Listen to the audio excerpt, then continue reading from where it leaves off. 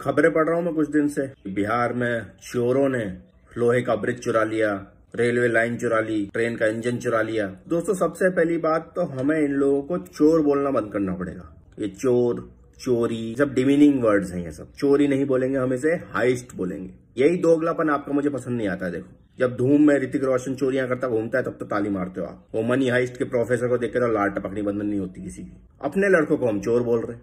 वही घर की मुर्गी दाल बराबर वाली बात है। आप इस चीज़ को नेगेटिव वे में क्यों देख रहे हो? इसके पॉजिटिव देखो ना आप। आप प्रतिभा देखो बच्चों की। लड़के बिना किसी ट्रेनिंग के क्या क्या कर ले रहे हैं, ये तो देखो आप। लाख लाख रुपए की शर्त लगा सकता हूँ मैं। जरा सी ट्रेनिंग मिलेगी इन लोगों को। ये लोग एफल टावर चुरा लाएँगे एक दिन। वो दिन दूर नहीं है जब नासा को पता चलेगा कि उनकी सैटेलाइट गायब है। और इससे पहले कि वो पता लगा पाएँगे उनके सैटेलाइट कहाँ गए, उनका मार्स रोवर भी गायब हो जाएगा। और जहाँ वो मार्स रोवर खड़ा था, उसकी जगह लिट्टी चोखा पड़ा मिलेगा जरा सा प्रोत्साहन देने की इनको ज़रूरत है, स्टैच्यू ऑफ़ लिबर्टी पटना के किसी चौराहे पर खड़ी मिलेगी आपको।